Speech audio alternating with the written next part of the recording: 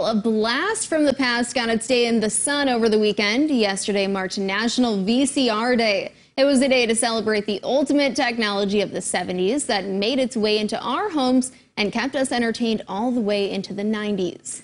The first VCR was developed in 1953 and it was introduced to the world in 1956, but it wasn't mass produced until the 70s.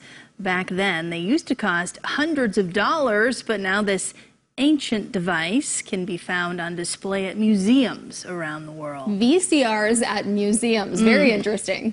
Makes me feel a, a little older than I would like. I noticed the prices on those too. Yeah, a couple of hundred dollars for them, depending on what you wanted.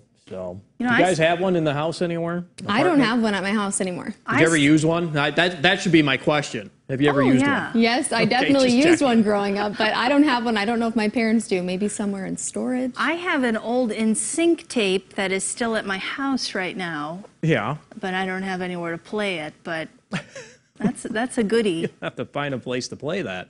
That's a good we, tape. We have one in the house. I think it's on like a it's like a little box TV. It's it, it's part of the TV itself. Um, I don't know. It's maybe about this big, but. Uh, yeah, I think we have one somewhere in the house. Well, there you go, Kelly. Now you I'm have somebody's VCR to borrow. Not quite sure if it still works.